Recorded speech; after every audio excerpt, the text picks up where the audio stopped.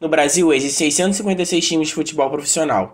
E você conhece quais são os maiores times de cada estado do país? Os melhores times de cada estado do Brasil. Episódio de hoje: Amazonas. A Federação Amazonense de Futebol hoje se configura em 18º lugar das federações do Brasil. Ao contrário dos outros, a partir de agora, as informações do ranking serão do ranking de 2022 da CBF. O Amazonas possui duas vagas na Copa do Brasil, três na Copa Verde e dois na Série D. Em 2022, o Amazonas, o São Raimundo e o Manaus FC vão representar o estado em competições no Brasil, sendo Manaus na Série C do Brasileirão. A federação surgiu apenas em 1960, apesar do futebol existir desde 1914. Só em 1964 que houve a profissionalização do futebol do estado. Como no Brasil, em geral, o futebol foi iniciado por conta de ingleses, no caso, em Manaus, que vieram ao estado por conta do ciclo da borracha. Eles fundaram o time Manaus Athletic Club e venceram os dois primeiros campeonatos estaduais, 1914 e 15, mas o clube deixou de ser time de futebol em 1916. O Manaus foi o primeiro, mas quem é o melhor? Relembrando, esses são os critérios usados para definir o maior. Como de praxe, vamos ver outros cinco times em ordem de importância, do menos importante para o mais, que se destacam no cenário estadual. Sul América, fundada em 1932 em Manaus, venceu duas vezes o estadual. Olímpico, fundada em 1938 em Manaus, venceu três vezes o estadual. Penharol do Amazonas, fundada em 1947 em Itacoatiara, venceu três vezes o Barezão e está na posição 130 do ranking da CBF. América Amazonense, fundada em 1939 em Manaus, venceu seis vezes o Amazonão. Fast Club, fundada em 1930 em Manaus, venceu sete vezes o estadual possui um bom histórico em competições fora do estado, conseguindo um 24º lugar em um Brasileirão em 1977, competindo contra 62 equipes. Atualmente está em um processo de estruturação e ano retrasado quase subiu para a Série C. É a posição 87 no ranking da CBF. Há anos atrás poderia ser considerada a quarta maior força do estado, mas perdeu espaço para outro. E quem foi?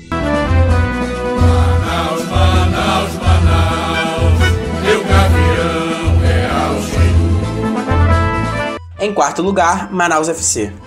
Fundado apenas em 2013 na cidade homônima, tem o Gavião Real como mascote. O clube, com apenas 8 anos de existência, já possui 4 estaduais. Na Copa Verde chegou à semifinal em 2018 e 2020, ficando em terceiro lugar em 2020, já tendo vencido o Paysandu e o Remo nessa competição. Em 2019 conseguiu o vice-campeonato da Série D, subindo para C. E o que faz dele o maior time do estado atualmente e o quarto maior da história do Amazonas é o sétimo lugar na Série C do Brasileirão. Na Copa do Brasil, o time foi no máximo até a segunda fase, em 2020 e 2021. Em 2019 foi o time que teve a maior série invicta do Brasil, ao ficar 21 jogos sem perder, além de ter ficado quase dois anos invicto na Arena Amazônia. Por isso o time é o melhor colocado no estado no ranking da CBF, ao estar na posição 55 do Brasil todo.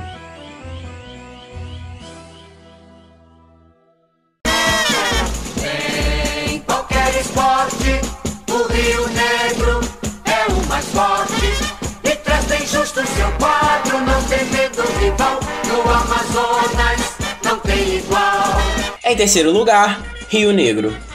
Fundado em 1913, o Atlético Rio Negro Clube tem o Glalo como mascote. Venceu 17 vezes o Barezão, sendo 8 na fase profissional e 9 na fase amadora. Faz parte do maior clássico do estado, o Rio Nau, junto com o Nacional. O clube já venceu a Copa da Guiana Inglesa em 1963, sendo a primeira conquista internacional de um time amazonense. E venceu a Taça Amazônica de 1928, que só disputavam times do Pará e Amazonas, sendo a primeira conquista regional de um time do estado. O time foi ter uma conquista notória fora do estado apenas em 1973, quando foi campeão do Norte no torneio Norte-Nordeste, acabando perdendo título geral do torneio para a América do Natal. Conforme o site da FAF, em 1974 venceu o torneio quadrangular Independência do Brasil. Não achei muita informação sobre o título. O que dá o terceiro lugar aos Barrigas Pretas é uma oitava de final na Copa do Brasil em 1990, ao vencer o Juventus do Acre. No Campeonato Brasileiro já chegou a ficar em 26º lugar em 1974.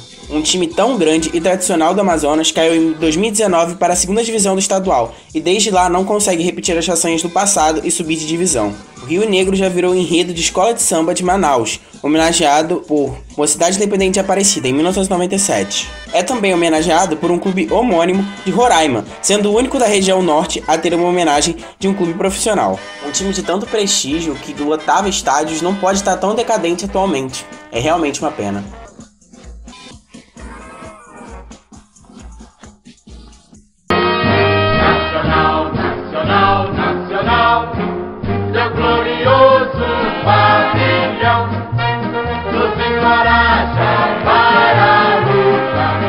Segundo lugar, Nacional do Amazonas. Fundado em 1913 em Manaus, o Nacional Futebol Clube, com mascotes Águia e Leão, é o maior campeão do Barezão, com 43 vitórias, sendo 25 na fase profissional e 18 na fase amadora. Em uma excursão por Marrocos, venceu a Copa do Rei Razan em 1984, disputando contra os principais times da África Central e Oriente Médio. Em 81, venceu o torneio Pacto Amazônico, que participou as equipes de Alianza Lima de Peru, Rio Negro, Los Milionários da Colômbia, Oriente Petroleiro da Bolívia, Dom Bosco do Mato Grosso, Fast Clube e Tunaluso do Pará, além do próprio Nacional da Amazônia. Outra competição ganha pelo Nacional seria o torneio Centro-Sul Norte-Nordeste. Apesar disso, há controvérsias históricas contra a existência de um torneio Centro-Sul na época. Fato é que o Nacional venceu o Grêmio Maringá e a bandeira do Amazonas na casa do governador foi trocada pelo guardanapo azul por 5 minutos. Após vencer esse jogo, houve dois dias de ponto facultativo no estado.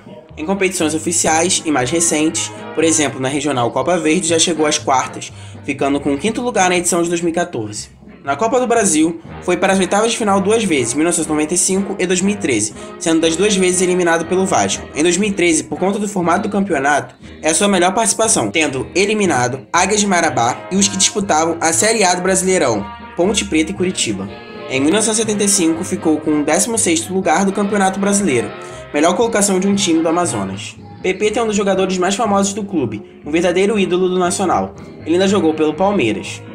Outro ídolo revelado pelo clube foi Sérgio Duarte, que fez carreira no Flamengo e jogou 17 anos no futebol português. Atualmente o clube está na posição 183 do ranking da CBF.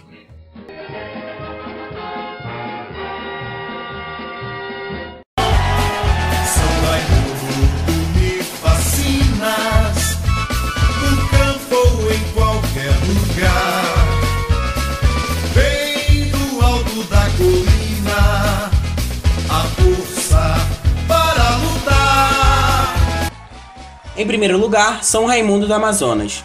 Fundado em 1918 em Manaus, o São Raimundo Esporte Clube tem como mascote Tufão e é o melhor time do Amazonas. O time faturou apenas 7 títulos do Barezão, sendo 6 na fase profissional. Ele tem uma grande rivalidade com o Sul América, o clássico Galo Preto. O São Raimundo é o maior campeão regional do Amazonas, ao vencer três vezes a Copa Norte, sendo o primeiro a vencer uma competição fora do estado de caráter oficial.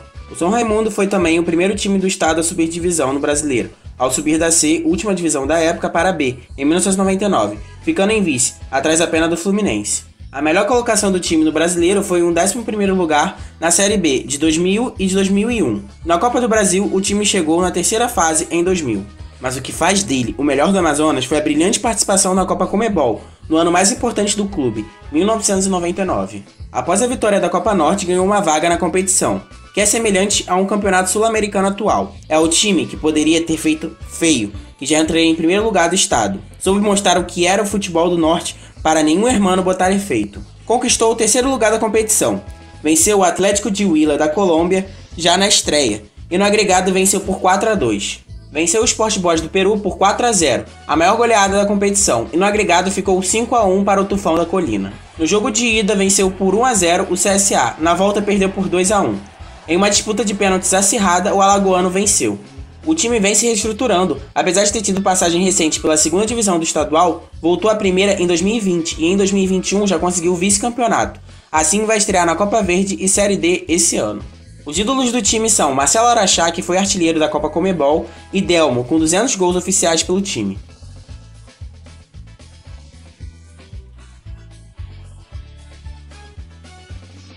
Sendo assim, o São Raimundo entra para a nossa galeria, se juntando ao Rio Branco, CSA e Ipiranga. No próximo vídeo vamos mergulhar na primeira capital do Brasil. Vamos para a Bahia.